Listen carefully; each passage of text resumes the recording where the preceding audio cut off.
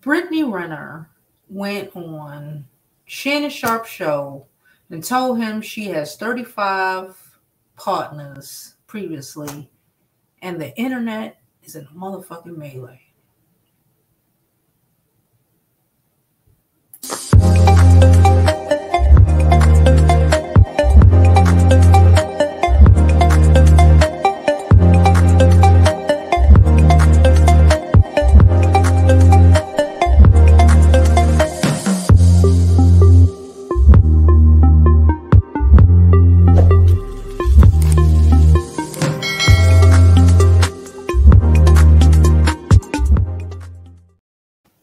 Guys, it's Jovi, and welcome back to my channel. So listen, I want to talk to y'all about Brittany Renner and her going on. I think it's Club Shay Shay, Shannon Sharpe's um, interview show that he has on YouTube, and like the like these men are losing their minds. Can we talk about this? First of all, I'm gonna be honest with you. I don't care how much people Brittany Renner has slept with. I would play it, but I'm not gonna play it. Like it's a video of Shannon when he she told him he's taking a shot and he opening a bottle to take a drink because he's such in shock when he is or was an extremely successful football player, and you already know he didn't bust down more than 35 women in his freshman year of college okay let alone his whole year co- uh, years in college let alone his whole time as an nfl player but let alone like the but has the audacity to try to judge Brittany or any other woman for having more than three sexual partners. This is one of the reasons I've always thought like even back in the day, I've really always like I don't tell those that information. Don't even ask me that sort of information. I think it's weird if a man asks you that sort of information. To me, that's a red flag. Because like, what does it matter? The only question that you should be asking me regarding my sexual conquest, okay, is if I'm having sex with anybody as of now, if we are in a sexual relationship. I can I can deal with that if you want to ask me if we if I'm messing with somebody else, right? Because that's all I really care about you because I really don't need to know how many hundreds of people or a lot of these men don't have hundreds, but how many people you have previously slept with in the past. It doesn't matter. Are you, is your cooch clean?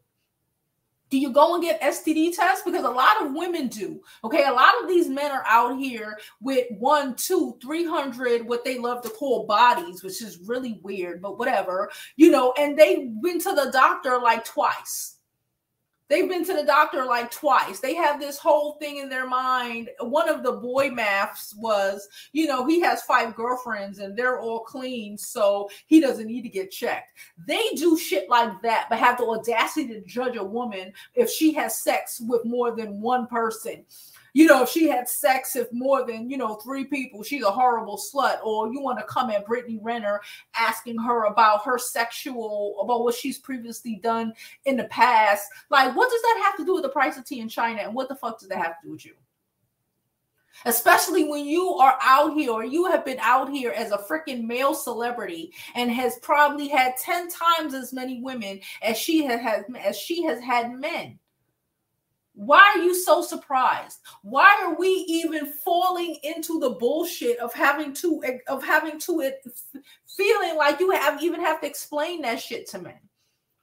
I remember back in the day, I, I, was like 18 years old. It was a bunch of us just standing on the corner being ghetto. You know, this is when I was dating a drug dealer. I only dated one drug dealer in my life, child, for like six months. The nigga didn't have a future, so I left. Anyway, but we were all sitting on the corner, and it was like three girls, three, four girls, and like four five dudes. We were just sitting on the corner while these niggas were selling drugs. We were stupid. Okay, I was stupid back then. Anyway, and like people started asking, like they started asking these girls, like all the girls, like I wasn't there, I was there, um, their body counts, and these women started answering these women started answering. Like, and then you know they came to me, and I just mind you, I'm dating one of them. I just looked at them like they were crazy. And when, and his friend was like, "Oh, she ain't gonna answer that. She ain't gonna answer that." He already knew. He still he now well, it might be because the niggas know know I'm uppity or whatever. You know, I used to even though I was a little ghetto, you know, I was a little uppity, you know, and I'm just like, that's even I feel like that is beneath me for you to ask me some dumbass question like that.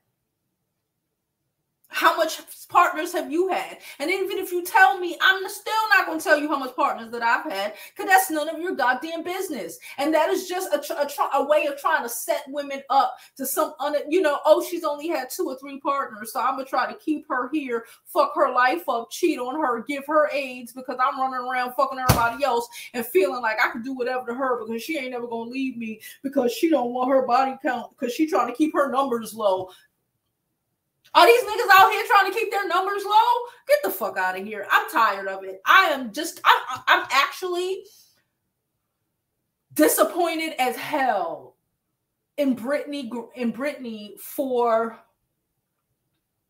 even feeling the need to answer that question. Maybe she felt like, you know, whatever that question ain't, you know, it ain't have no power over her or whatever, and that's cool or whatever. But you know, it, these niggas are literally having think pieces about, you know, well, you know, when a woman says 35, double it by, triple it by, and it's like they ain't never gonna be happy. They're never gonna be like, and, and fuck them being happy at the end of the day. Fuck them being happy at the end of the day.